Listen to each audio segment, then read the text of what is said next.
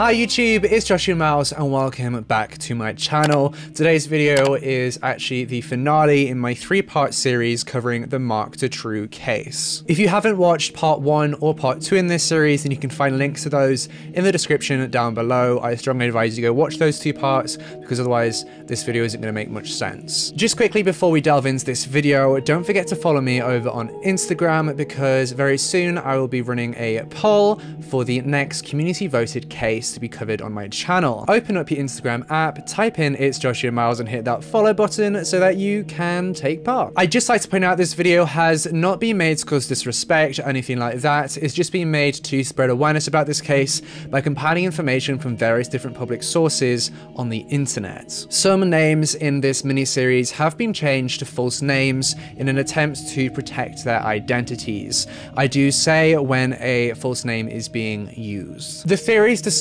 in this mini-series are just that. They are theories. They are not facts. They shouldn't be taken as fact. And again, they're just theories. They do not necessarily represent the views of myself or any of the investigating officers or anybody involved in this case. Again, the theories are not fact, they are just theories. As always, I ask that you remain respectful when discussing this case in the comment section down below. And with all that being said, let's delve right back into this case. We left off with Marc Dutroux, Michelle Martin, his wife, Michel Lelièvre, and Michel Nihoul receiving their sentencing for their crimes. Now, since part two was posted, Michel Lelièvre has actually been granted parole and is walking a free man. That, to me, is so beyond disturbing considering the role that he played in this case. And we'll actually talk more about uh, Michel Lelièvre being released on parole at the end of this video, along with some other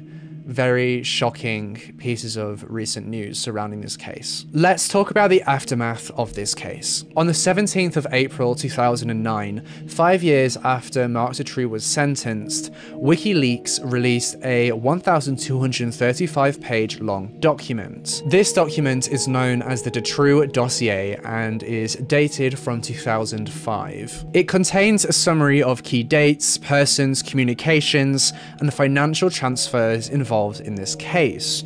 Now, according to Wikipedia.org, WikiLeaks is an international non-profit organization that publishes news leaks and classified media provided by anonymous sources. This website is known for leaking private or confidential information, which they believe that the public should be aware of. And don't get me wrong, this website has received a lot of backlash from many people high up in governments across the world for leaking very important documents and potentially putting people at risk who are on secure operations. Um, if you want to research more into that, feel free. The whole history behind WikiLeaks is extremely interesting, and what they do is very, very interesting too. A name commonly associated with WikiLeaks is Julian Assange.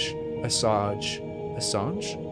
Which is a name that I'm sure you've all heard of before, but Julian's case is outside the scope of this video, so let's continue on with the Marc Dutroux case. The Dutroux dossier was one of those pieces of confidential information that WikiLeaks had gotten their hands on and leaked. Interestingly, a senior prosecutor in Belgium actually tried to block the Dutroux dossier from being released to the public and tried to block people inside of Belgium from being able to access access the WikiLeaks website. And this senior prosecutor allegedly did this because the senior prosecutor didn't believe that the people that were named in this dossier that weren't public knowledge, people that were investigated but, you know, were cleared, the senior prosecutor didn't want these people to be linked to such a prolific case, so he wanted to block it so that it wouldn't get out. However, this senior prosecutor's attempt at hiding and blocking the documents was unsuccessful. The leak dossier actually caused such a stir in Belgium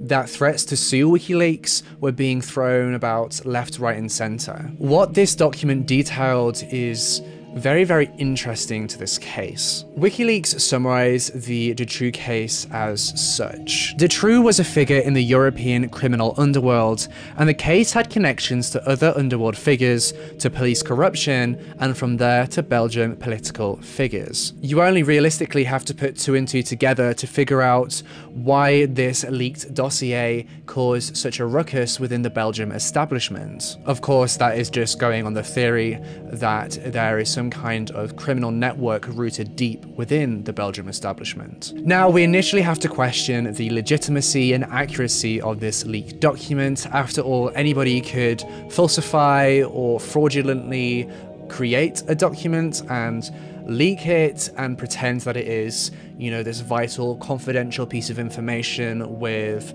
lots of whistleblowing facts and, you know, paragraphs and evidence in it and stuff like that. Anybody could realistically do that. So we first have to have a look and see whether this document um, could be a reliable source. How do we know that what is said inside this document is real and not falsified? Long story short, we don't know 100% for sure. Though looking at WikiLeaks history, they have a very strong track record of putting out very reliable and accurate and truthful leaks. It is believed that the dossier originated from a Luxembourg-based journalist called John Nicholas.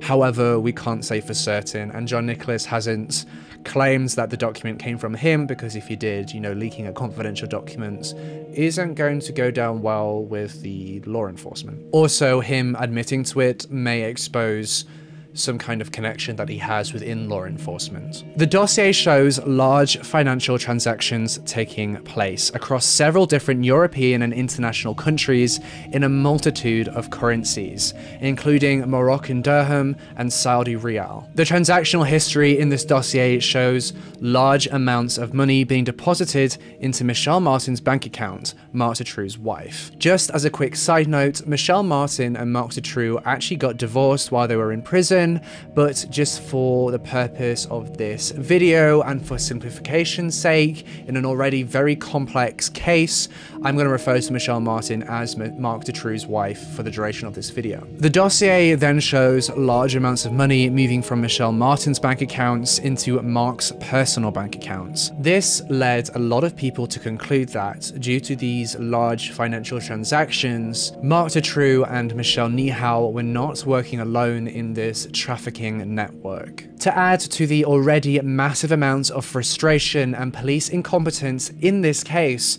these large financial transactions were not investigated by the authorities at all. They didn't think to themselves, hmm, where are these transactions coming from? Where is all this money coming from? Maybe there's something bigger at play here. They just decided to ignore it. They believed that Marc Dutroux was working alone. Or maybe they didn't want to believe that there was a wider network at play. Now, as I've said before in this case, Marc Dutroux was an unemployed electrician who lived on state benefits. Yet, somehow, Marc Dutroux owned upwards of seven houses, with some sources claiming that he owns 10 houses. How can somebody living on state benefits afford to purchase not just one house, not just two, not just seven, but allegedly 10 houses. Now, interestingly, after several of the disappearances associated in this case, according to the New York Times, Marc Dutroux was paid large sums of money into several of his bank accounts. Within just four years since he was released from jail early due to good behavior, somehow, with his only official income being benefits, Marc Dutroux was worth an estimated 6 million francs, which is about 1.3 million US dollars in today's money. This doesn't take into account the various assets that Marc owns that were not in his name, assets that were actually in his wife's name. This all to me tells a story of somebody being paid by higher up people perhaps allegedly people high up in the Belgium establishment, to do what he did to those girls. Now, this is where the case begins to get even more weird and even more suspicious and mysterious. Since Marc Dutroux was arrested in the late 90s, 20 witnesses associated with this case have mysteriously died. This case is quickly beginning to sound like some kind of a work of fiction dreamt up by an intricate writer but it's not. This is real life. According to The Guardian, 20 potential witnesses have died in mysterious circumstances, fueling suspicions of a cover up reaching the highest of levels.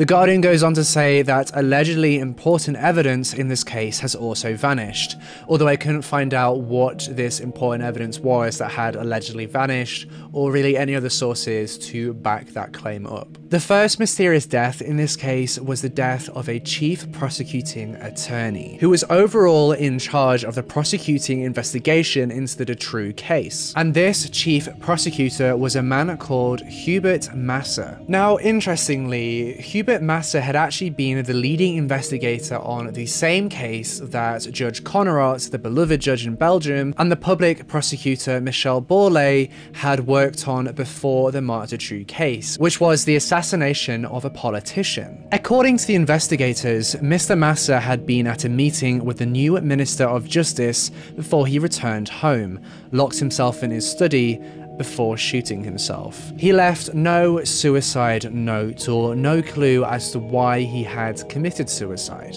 He was in his early 50s and he had three children, and on all accounts, he appeared to be very happy and not depressed. But as we all surely know, Depression takes many forms, and so many people put on a mask to hide it. According to the Office for National Statistics in the UK, male suicide accounts for 75% of suicide deaths in the UK. In addition to this, according to data from the American Foundation for Suicide Prevention, in 2017, men died by suicide 3.5 times more often than women. On average, there are 129 suicides per day in the USA, with 47,148 Americans dying by suicide in 2017 alone.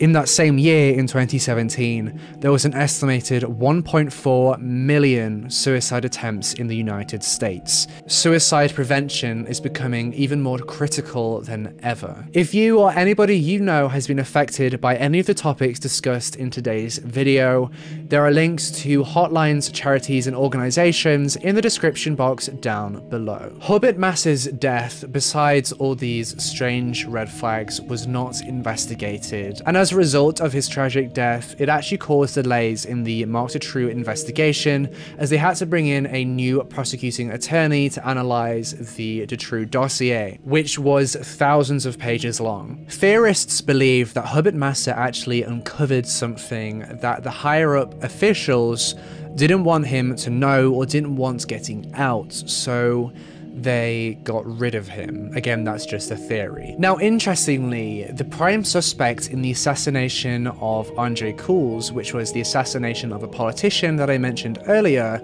was actually found mysteriously dead The prime suspect was a former government minister called Van der Biest, and he was found dead after committing suicide at the age of 58, although this time the body was found with a suicide note addressed to his wife. It is easier to believe the ruling of death by suicide in the Andre Cools case simply because Van der Biest was a well-known government minister implicated in a very serious politician's assassinations case. Perhaps he couldn't bear his reputation being tarnished tarnished. Regardless, I found the link interesting between Van der Biest, Judge Connerotte, Hubert Massa, and Michel Bourlet, all people who were involved in a very public and high up case. A lot of people speculate a connection between the assassination of Andre Cools and Marc Dutroux. Let's go through a partial list of mysterious deaths surrounding this case as published in the April 2004 edition of The Sprout. The list details 17 out of the 20 mysterious deaths in this case. We're going to go through just a few of them. The first mysterious death in this case was the death of Jean van Peteghem. Jean was actually arrested and imprisoned with Marc Dutroux and his wife Michelle Martin when they were initially arrested in the late 1980s. However, Jean made a full confession to the investigating officers about what Marc Dutroux and Michelle Martin had done to those five girls girls that they had kidnapped and abused and in exchange for this information, John was released early from prison. Jean then mysteriously died in a caravan fire in 1986, shortly after he was released from prison. The cause of this fire is unknown. It could be argued that technology and forensic sciences examining how a fire is started was not advanced in 1986, so it would have been difficult for them to determine that. It could simply have just been a chip pan fire or something to that effect. Or was it something much more sinister? The next mysterious death to occur in this case is the death of Jean Paul Taminiau, who was a well-known figure in the criminal underworld in Belgium. Jean-Paul had actually been involved in the car theft ring that Marc Dutroux and Michel Nihoul had allegedly been a part of.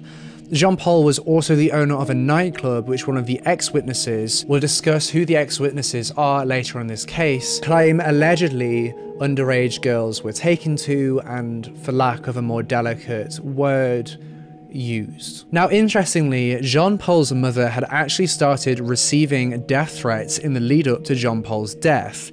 It is unknown who exactly was sending Jean Paul's mother these death threats. Surprisingly, inside one of Jean Paul's nightclubs, a key was actually discovered, and this key belonged to a garage which was owned by one of Marc Dutroux's alleged accomplices, an accomplice that Marc Dutroux actually accused of killing Bernard Weinstein. Inside this garage, investigators found a car and the owner of this car, when they ran the registration plates, was a state prosecutor in Mons, Belgium, who was called Demane. On the night of the 1st of April 1995, going into the 2nd of April, Jean Paul disappeared. He left his nightclub and was never seen again. On the 2nd of April 1995, a foot was found in the local canal, which was later identified to be that of Jean. The body of Jean Paul has never been located. Numerous informants to investigators told them that he had actually been shot,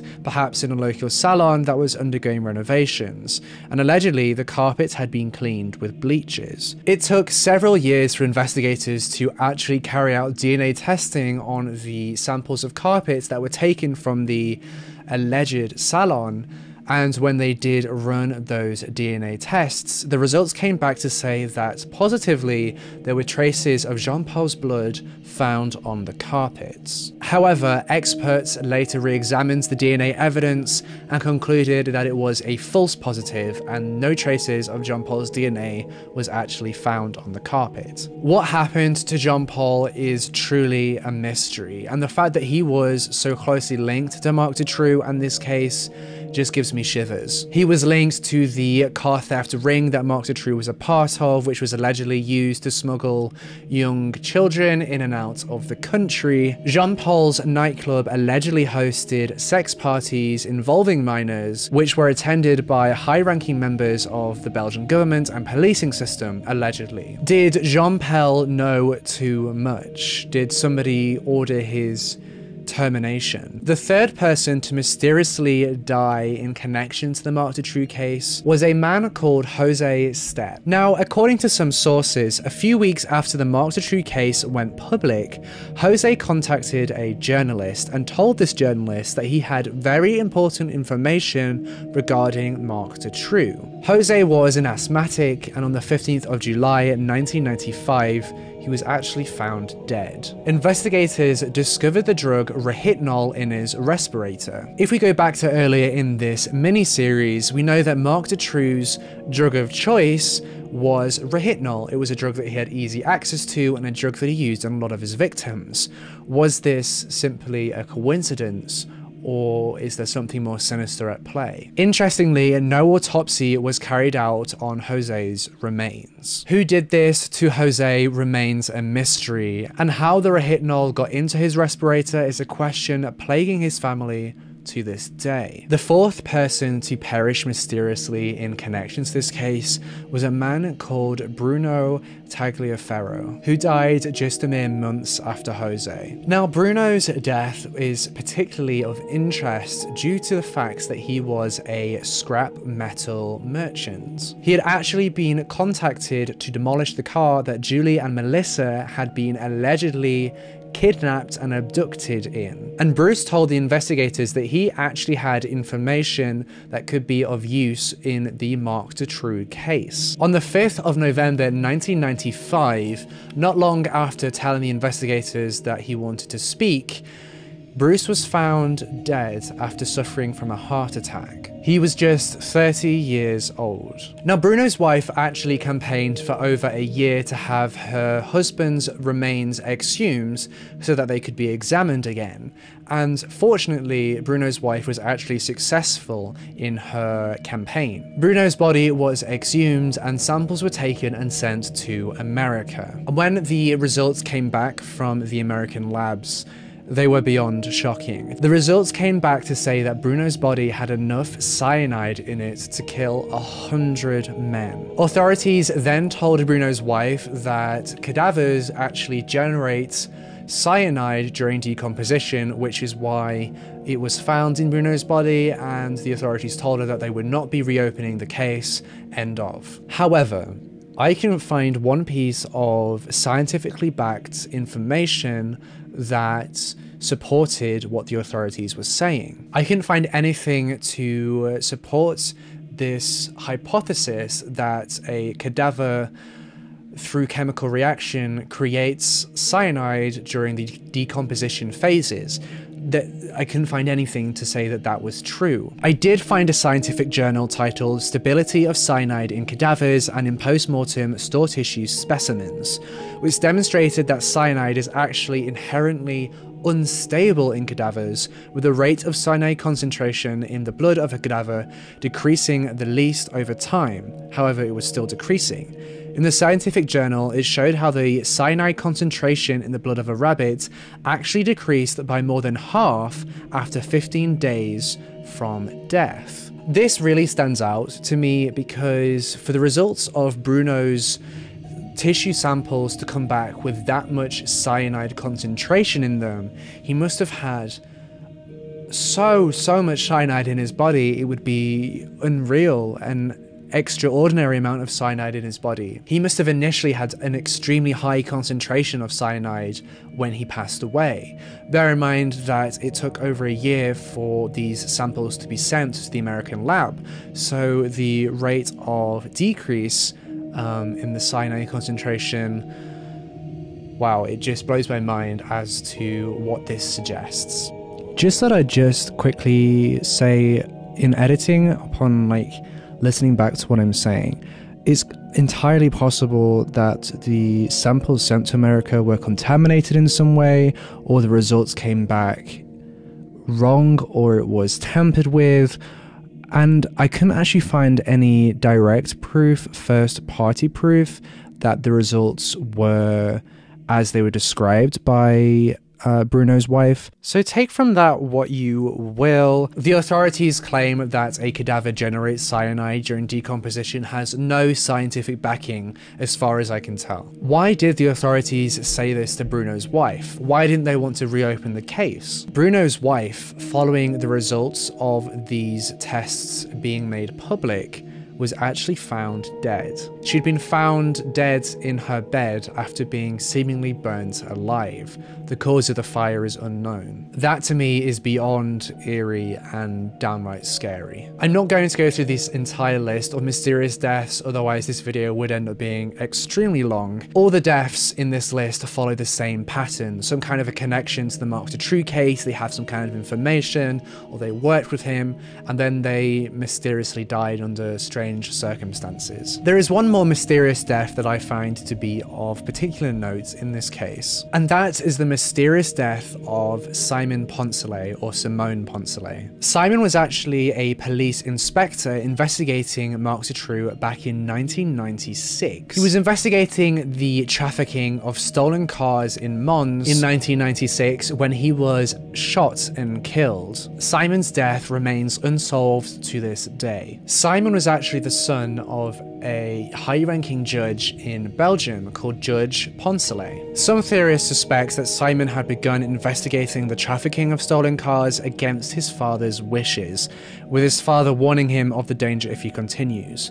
Simon then paid the ultimate price. However, that's just a theory and I couldn't find any actual backing to it. All the mysterious deaths, the severe amount of police incompetence, the mysterious circumstances surrounding the trial, it's easy to see how the Belgian public began to believe a conspiracy to the sickest degree that was taking place within the Belgian government. Even the beloved Judge Connerotte began to express his concerns. He described his belief that mafia groups had allegedly seized control of the key institutions in Belgium. Judge Connerotte discussed the leaked dossier, saying that the file talks of seizure of children, foreign trafficking, and perhaps even of cells. The sum of 150,000 francs was mentioned as the price for girls.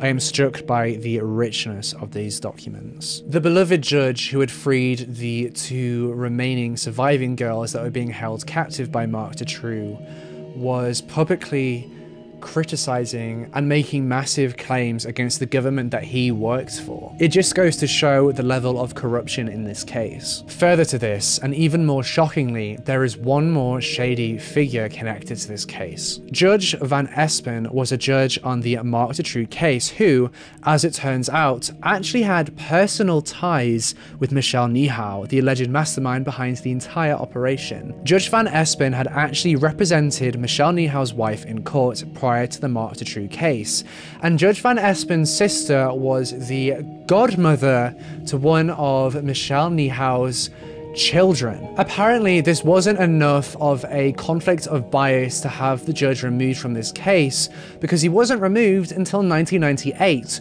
two years after the case had started. Judge Connerotte, who was beloved by the Belgian public, who accepted a somewhat cheap pen and a plate of spaghetti at a fundraising dinner and who made a point of not speaking to the victims or anyone directly associated with the case present at the dinner was removed on a conflict of bias. But Judge Van Espen, who had literally got connections to Michel Nihoul, who had represented Michel Nihoul's sister and whose stepsister was actually the godmother of one of Michel Nihoul's children, that wasn't a conflict of bias, apparently. It wasn't, you know, a big enough conflict of bias for him to be removed until two years into the investigation. This, when it became public knowledge, caused a massive public outcry, yet another one in this case. There is so much more corruption in this case that it is actually surreal and insane. There are allegations of corruption on the initial parliamentary inquiry into the case,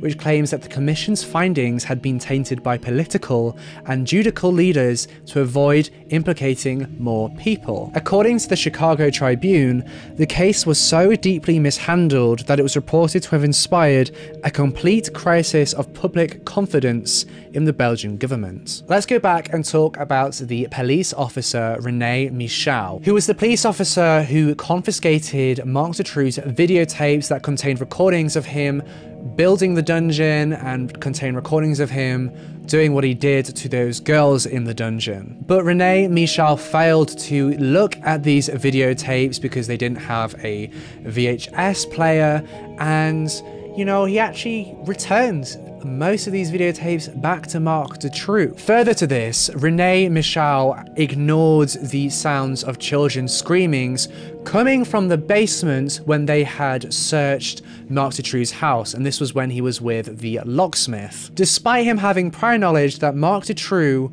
had a criminal history of abducting and abusing girls, and that he had knowledge of girls going missing in the surrounding areas.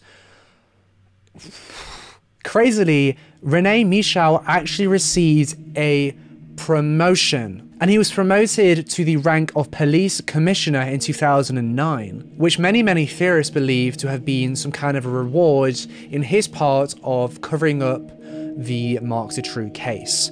However, shortly after his promotion, he actually passed away. It gets even worse. I briefly touched on this earlier in this series, but according to the prosecutor general, who was called Anne Thily, the bodies that were recovered from Marc Dutroux's properties were far too decomposed for any DNA samples to be taken from them. However, the autopsy on these remains tell a completely different story. The autopsy shows that the remains were not too decomposed and that DNA samples were actually taken from the bodies. What happened to these samples and the results of any tests carried out on these samples is unknown. Why would the prosecutor general lie to the media about the state of decomposition of these remains, especially when there was evidence in the autopsy report on the contrary? I'm getting really worked up about this case.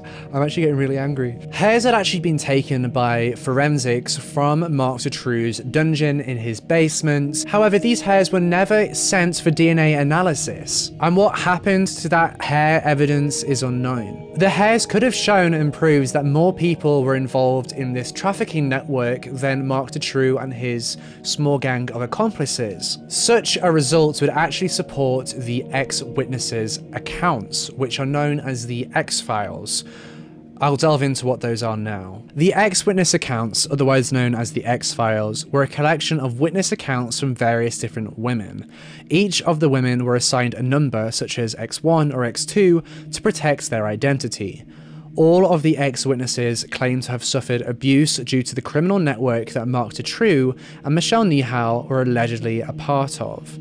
The network had abused children in order to blackmail members of the Belgium establishment, a point that I touched on in part 2 of this series. These ex-witness accounts independently all place either Michel Nihoul or Marc Dutroux at the scene of torture, rape, and even the murder of multiple children, along with placing elite figures there too. I won't delve into any more details because the testimonies within these ex-witness accounts actually makes me sick to my stomach. In total, there are nine ex-witnesses in connection to this case. The most notable, and coincidentally the first ex-witness, who we'll call X1, actually had their identity leaked to the press. Theorists suggest that X1's identity was revealed to the public and leaked to the press by high-level members of the Belgium establishment in attempt to tarnish her reputation and void any kind of validity her testimony may carry, destroying her credibility. I won't be using X1's real name in this video because I don't want to further perpetrate any kind of potential alleged campaign to tarnish X1's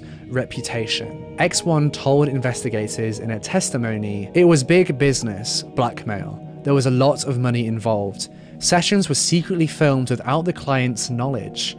This entertainment was not just sex, it involved sadism, torture, and even murder. X1 would go on to describe how and where these events took place in vivid detail. X1 described who suffered and how they suffered. As I said before, out of respect, I will not be discussing those details. X1 went on to say that they knew Michel Nihoul and they called Michel Nihoul Mitch. X1 described Michel Nihoul as a very cruel man. He abused children in a very sadistic way. X1 claimed to have been sold sold into prostitution by her grandmother, and X1's testimony actually lines up and correlates with the other independent ex-witness testimonies in this case. The details of these testimonies are chilling and beyond disturbing and is actually on par with the case that I covered a few months back called the Alaskan Human Hunter. You can infer from the title of that case what I'm in describing. Interestingly, X1 actually had a large amount of detailed knowledge surrounding the unsolved murders of two women in the 1980s, knowledge that she wouldn't have had if she hadn't been involved or been present at the scene of the crime. Knowledge that wasn't public information, and knowledge that the police didn't even have themselves. That knowledge began to solidify X1's claims. It gets even stranger. X1 was able to describe in vivid detail the scene of a murder that she claimed to have witnessed. The scene was in an underground mushroom farm, and when the son of the former owner of the farm was interviewed, he said, I have never met X1. All I know is that she could not have described the house as well as she did unless she'd been there. It would be impossible to invent it. Further adding to the conspiracy, investigators that took X1's claims seriously were actually removed from the case. After X1's identity was revealed by the press, she was shunned and shamed into silence by the media and by tabloids, and newspaper outlets. To conclude this massive and insane case, knowing all this information that I've presented to you, was Marc Dutroux and his accomplices part of a wider criminal underground network, or was he just working alone? The ex-witness testimonies, the mysterious deaths surrounding this case, the large financial transactions in the Dutroux dossier, and all the testimonial evidence lining up leads me to believe that Marc Dutroux and Michel Nihoul were not working alone. It suggests that perhaps there is some deeper network at play, something international, something that was so horrific and something that was so secretive that it had to be covered up by high level members of governments internationally, and that people had to be silenced with death. Whistleblowers were mysteriously dying. Now, on the contrary, Marc Dutroux was a master manipulator and he knew how to play the long game. And perhaps along with coordination from Michel Nihoul, they orchestrated and fabricated this entire criminal network to try and lessen the sentencing against them and try and move the public's blame on them as individuals and more to the government and more to this belief of a wider network, maybe for them to get out of jail sooner or something to that effect. The allegations that Marc Dutroux made against the Belgian government were met with fear and panic within the establishment, which could have caused ultimately the delays that that were seen in this case. And unfortunately, underfunding could have caused the police incompetence that we also saw in this case. Underfunded and overworked police officers is a very common contributor to police incompetence, unfortunately, and it is very difficult to blame individual police officers when that is the case. The blame in that respect falls more on the people allocating funding. Marc Dutroux continues to this day to insist that he was part of a larger criminal network. Michel Nihoul, who only served just a handful of years for his part in this case, is a free man today and he walks free. He actually tried to sue the prosecution in the Dutroux case for 250,000 euros in compensation. However, this was denied in December of 2011. As I said at the start of this video, Michel Lelièvre was actually recently released on parole. He was released at the beginning of October of this year, 2019, under the condition that he finds housing within six months and under judicial supervision, so a probational officer had to visit him every now and then. Further to this, as part of Michel Lelièvre's conditional release, he was actually banned from quite a number of provinces in Belgium, as well as all the major public transport links. I believe Michel Lelièvre is also banned from traveling internationally, but I couldn't find more than one source that backed up that fact. According to his lawyer, Michel Lelièvre had matured and was ready to reintegrate back into society. You'll be surprised to learn that there is even more to this case than I have covered in this video, such as the, all the mysterious disappearances, even more wilder conspiracy theories and wilder accusations of corruption within the government. It's such a mammoth case that I can't even still wrap my head around, and I've been researching this case for weeks on end now. I implore you to conduct your own further research into this case. As per always, I've left links to the works cited and my sources in the description box down below. Some information and points in today's video has actually been sourced directly from a really, really talented journalist who is called Elizabeth Vos, who is a contributor for the Consortium News website. I must applaud and credit Elizabeth Vos for her articles and research into this case as it has really helped piece everything together for me. Michelle Martin, Marc Dutroux's ex-wife, was released from prison just 16 years into her 30 year sentence in 2012. She will be eligible for full release into society in 2022, which means no more judicial supervision and no more parole officers or probation officers visiting her, she can walk free unsupervised. According to her lawyers, she too deserves a chance to be reintegrated into society. And this is despite the fact that she has already served time for kidnapping and abusing five kids before the whole Mark True case blew up, and then she repeat offended on a much more severe level. Whether Michelle Martin's repeat offences are simply down to her relationship with Marc Dutroux and their evil relationship is down to speculation. Now, what I'm about to say next is going to shock you and it scares me. Under Belgian law, a life sentence, which is the sentence that was given to Marc Dutroux, is not a hundred years like you'd imagine. It actually means just 30 years. This means that Marc Dutroux could be released completely in the 2030s. Now, when Marc Dutroux was sentenced to life in prison, he was also sentenced, like everyone else, to a further 10 years of judicial supervision. And this is known in French as mise à disposition. Obviously, I butchered the French. And this judicial supervision is in place to allow reintegration back into society you know, supervised by government officials to make sure that he's not going to do anything wrong. And this same 10 year period has applied to everybody in this case and is usually applied to people who are sentenced to life sentences because they only last for 30 years. Just jumping in here again in editing, I thought it was interesting to note that in the UK, a life sentence, um, if you're given one, you're actually in a lot of cases eligible for parole after 20 to 25 years of that sentence being served. Obviously, it does depend on the severity of the crime. And in the US, it's very hard to distinguish precisely because there's a lot of differing uh, definitions of a life sentence between the different states. But typically, eligibility for parole depends on the severity of the crime, as you'd imagine. But I thought that was interesting to note.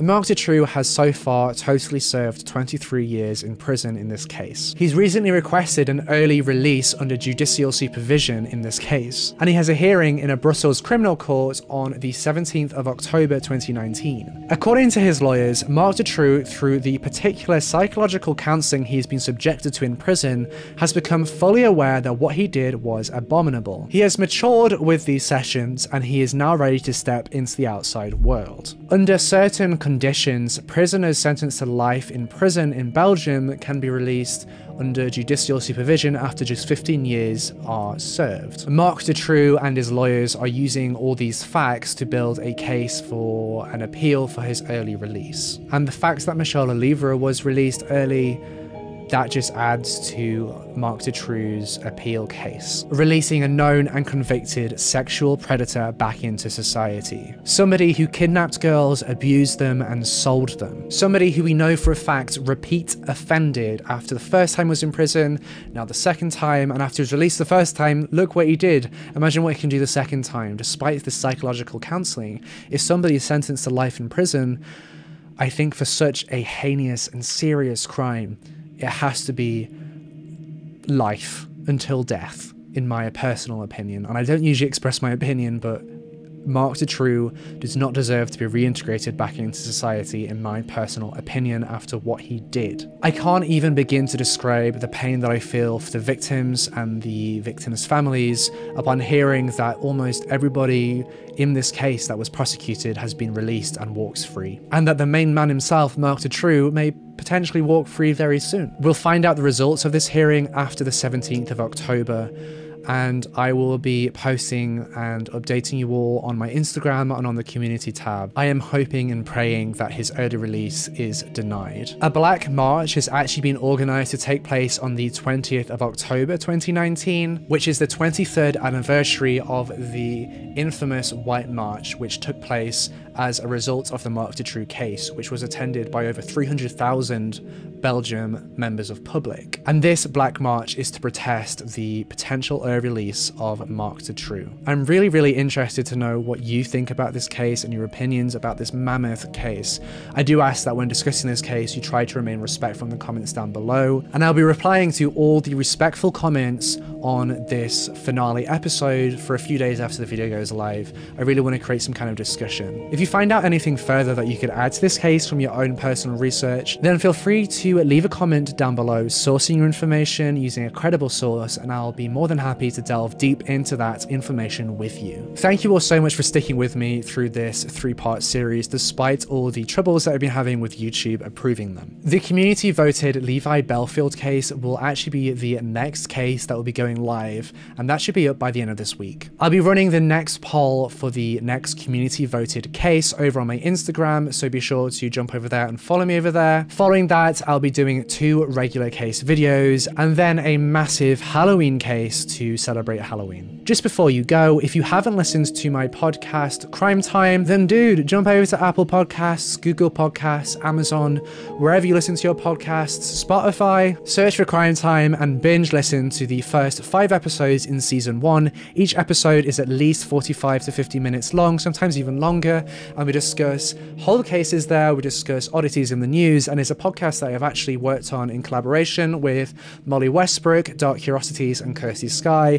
I really, really enjoy the podcast. I'm really, really proud of it, and I'd love to know what you think. We're currently gearing up to film the Halloween special of our podcast, where we'll be discussing more spooky and paranormal cases. Let me know in the comments down below if you have any paranormal experiences or stories that you want to share with us for a chance to be featured on the Halloween special of the Crime Time podcast. You can find a link to the podcast in the description down below. Don't forget to like this video if you found it interesting and leave a comment down below telling me what you think of this case. Hit that subscribe button and press that bell icon so you can be notified every single time that I post a brand new true crime video. And with all that being said, finally, ending the Marc True series, I'll see you in the next case. The game.